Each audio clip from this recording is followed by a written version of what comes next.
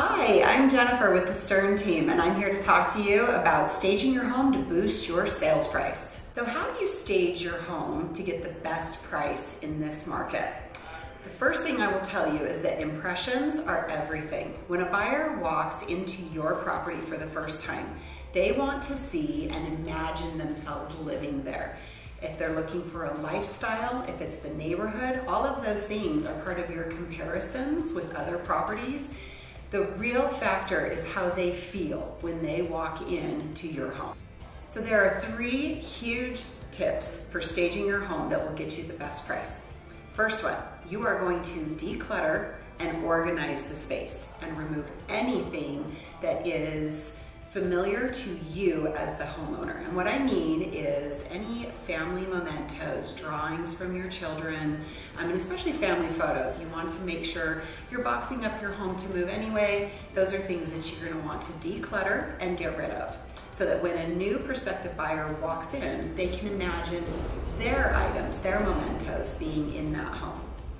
The next thing you will want to do is highlight key features. So if you have great views of the valley or great views of the mountain, or if you have a pool or something that is a really great lifestyle feature that someone might want to have their eyes drawn to, you'll want to stage your furniture to really highlight those features, drawing the eyes out to the outside.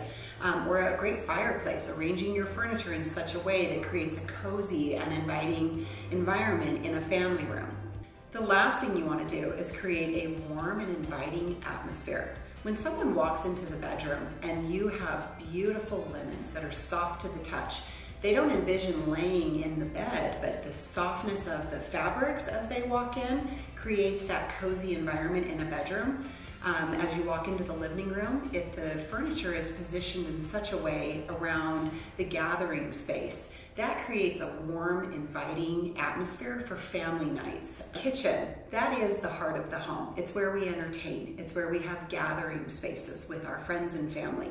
If you have a fantastic island, put bar stools on there so that it seems inviting. If a dining table is close by, have a full spread on the dining table. This is where your buyer wants to envision those large holiday gatherings with their friends and family. Those are just some quick tips that we have for you. If you have any other questions about how to stage your home, we would love to hear from you and be of assistance. Please call, text, or email us if you are in need of staging your home for your next sale.